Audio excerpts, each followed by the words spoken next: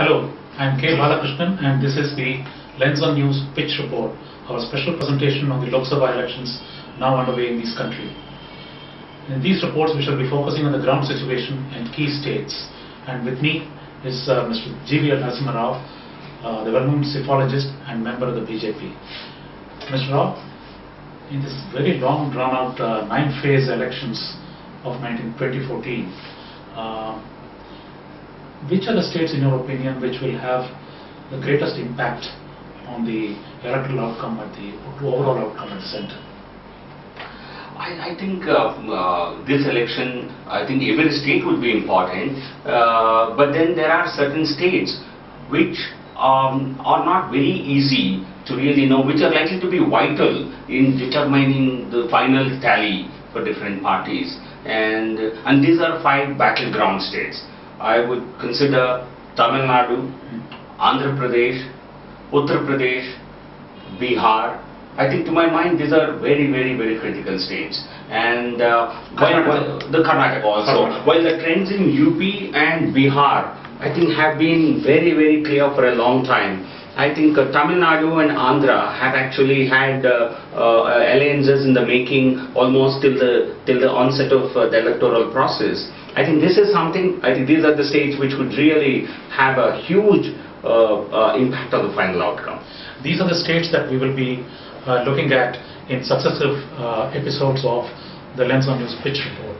Uh, we have already uh, discussed Tamil Nadu, and today I would like to discuss with, Mr. Mr. Rao the some of the states which were which went to the polls in the third phase yesterday, particularly Delhi, Haryana, and Western Uttar Pradesh. Yeah, uh, but before that, uh, there are some interesting uh, uh, insights that I think we should uh, we would like to bring out. But in the last, if you look at the voter participation, the voter turnout in elections, I think we have seen a huge jump in uh, voter turnout across all states, including Northeast, Assam, all states in the Northeast. Then uh, huge increase in, in a place like Delhi, where it has been it has been becoming increasingly difficult to really get the vote out, uh, get the middle class vote out. But uh, the Delhi had experienced a very high turnout. Haryana has experienced a very high turnout. Historically so, high So turnout. historically, if you look at the electoral trends, an interesting insight that comes out is any election in the, the all the wave elections that this country has seen in the in the 40 odd years in the last 40 and or more years there have been five wave elections, starting with 1977, uh, the emergency anti-Congress uh, vote in 1977. Then uh, 1984, 1984 was a pro-Congress wave right. because after the assassination of uh, Indira Indira Gandhi, I think there was a huge pro-Congress vote uh, uh, in favor of uh, Rajiv Gandhi. And that was in 1984. That was a wave election. 1989 was a Bofors election where Congress was voted out. That was also a wave election. And then 1998 when NDA, belying all predictions, I think NDA came to power for the first time. And NDA won the mandate once, so once again in 1999. These five, in, to my mind, qualified to be wave elections which have thrown up unprecedented uh, electoral And mandates unexpected ma- mandates. In all these five elections, the voter turnout was 60% and higher. So what we are witnessing today, more than 100 parliamentary constituencies have already gone to polls, about 104 or so, and uh, uh, so a fifth of uh, country has already voted. And we are seeing in the last Lok Sabha elections in 2009, we had a turnout of 50, I think 58 percent. Same was the story in, uh, in uh, 2004. So this election is turning out to be a high turnout election which could possibly break the previous record of 64% in 1984. So you can really imagine what's happening on the ground. Uh, uh, there is a huge uh, momentous shift of electoral preferences that's happening on the ground. it, what is happening on the ground is, behind this wave, is it an anti-incumbency uh, alone or is it something more? I, th- I think it's a combination of both, and and certainly I see this as a pro. Uh, uh, uh, BJP pro Narendra Modi wave uh, more than okay obviously the, the anger against the government UPA government at the center has certainly helped consolidating this particular uh, But then, wave. but then there is an alternative, that is the biggest thing. is it? Yeah, that's an Because, alternative. because there is an alternative, there is a movement towards. Yeah, if you, uh, if you have watched television over the last week or so, I think you would, this had been uh, uh, the, the preeminent topic for discussion. Is there a wave? Hmm. Is there a Modi wave? I think the, the polling percentages really speak for it. The kind of public enthusiasm is certainly unprecedented. We've never seen something like this before. Can we now discuss uh, Delhi? Uh, Delhi with its uh, seven seats, which uh, all of them were in favor of uh, the Congress the last time, and uh, uh, now there is a new factor that is it's not merely Congress versus BJP now, it is going to be AAP party again is a big factor in this election. Yes. So it's a three-way contest. Uh, it it, it, it was uh, built to be a three-way contest, but uh, practically the Congress is out of the reckoning. The Congress in a way has become uh, the BSP uh, in the last elections. Uh, you see, we- we've seen in the last couple of elections in Delhi, the assembly elections particularly, the BSP used to get a sizable chunk of vote. Now Congress is now, I think some seats they might possibly deposit, uh, lose their uh, deposits, forfeit their deposits. So the AAP was a big, I think, player in the last assembly elections. It continues to be an important uh, player now, but the kind of public uh, disaffection, uh, middle classes voted heavily for Aam Aadmi Party, particularly women, in the last assembly elections, where they put up that surprising, uh, stunning performance with, with their debut. Uh, but but it was they, they could not surpass. The BJP had a sizable lead in terms of votes and vote seats in assembly elections itself. And according to my reading, this gap only has widened. That's right. The, the, the BJP is the favorite to win these elections and people want stability. People want a government that can really deliver. People want a leader who can lead.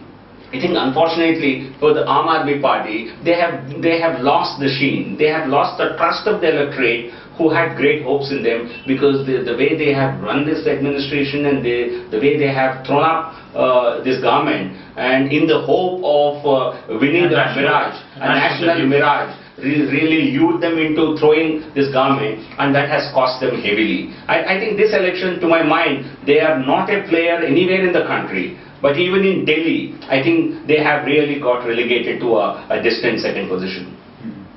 And now looking at Haryana, in Haryana you have again uh, the Congress is the ruling uh, no party suffering a great amount of anti-incumbency. But besides the BJP as a challenger, you have other players like INLD and again the Aam Aadmi Party. Aam Aadmi Party was particularly expected to do well in the Delhi NCR region, but uh, is that going to be No, I think surprisingly the Aam Party has really not been able to make a mark in Haryana from whatever ground reports that we have. Um, I think it's primarily, to my mind, it's a, it's a, the BJP is certainly, sorry, BJP is certainly in the lead and uh, and uh, uh, it's the INLD and the Congress. It, it's a triangular contest, but we certainly think the BJP is way ahead, and INLD has come back. Uh, uh, I think although this, uh, the, the, the have been jailed, I think there is they have been able to retain their caste support base to a certain extent. So I think they are, we certainly see them as uh, one of the challengers. But Aam Aadmi Party has uh, uh, certainly not been able to make a mark in the context of Haryana.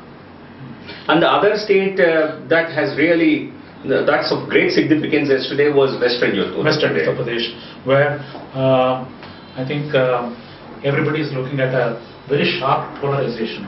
Polarization which is um, perhaps benefiting BJP on one side and on the other side, is it uh, the Congress or the Samajwadi Party with uh, BSP also playing a role in pitching for the Muslim vote? Okay, but but you see, um, although a lot is spoken of uh, uh, this polarization, in a way this election is polarized. Not Yes. just in Western UP, all over the country. All over the country. But this polarization is not on religious and communal lines. This polarization is ha- is happening on misgovernance versus promise uh, of a good governance. Corruption of the UPA on the one side vis-a-vis uh, a clean leadership that's uh, that's on offer from the BJP side in the in the in the in the name of Mr. Narendra Modi as the prime ministerial candidate. So it's a completely there is not really no religious polarization that has really happened. But in UP we have done number of polls. What comes out, the support for the BJP led by Mr. Narendra Modi is mainly on account of the fact that he was able to give good government in, in, in, in Gujarat. The people's hope in, uh, in a Modi-led administration at the center is for good governance and not for any other reason. I think there are vested interests who will try and project this as a vote uh, uh, in favor of or against a community. But the BJP, particularly Mr. Modi, ran a very clean campaign. You are absolutely right, but at the same time, there was an effort to polarize and that has had a backlash. Uh, Yes, and uh, particularly, particularly in terms of the Jat vote, which would have gone normally to RNLD a great deal and uh, in the western UP area, but uh, perhaps it is turning towards, from uh, evidence at the that- ground that- level, it is turning towards BJP uh, in a much greater proportion than it would have been otherwise. Yeah, but this is not because of any constant, uh, any yes. effort or is an more- attempt. more- more a It's- backlash. It's, it's a backlash I- and it's, it's a, it's an outcome of the circumstances that have actually developed in Western Uttar Pradesh. Uh, much of it, I think the blame has to be laid at the doorstep of the Samajwadi Party, which had completely mishandled mishandled the Muzaffarnagar riots in, in uh, uh, about, a year ago and also there is a widespread perception one important insight that comes out from Uttar Pradesh is the minorities are very unhappy with the way the Samajwadi Party really ruled Pradesh, Uttar Pradesh and also the way they have uh, handled the riots. But at the same time, a large constituency of Yadavs who have traditionally been supporters of uh, the Samajwadi Party are extremely unhappy with the Samajwadi Party for having completely uh, uh, for having having completely sided and having only cared for the interest of the minorities and ignored other communities. So it's a, it's a very interesting paradox. On the one hand, minorities are unhappy with the Samajwadi Party government. On the other, its other constituent of uh, Yadavs are equally unhappy. And the BJP is certainly getting a large chunk of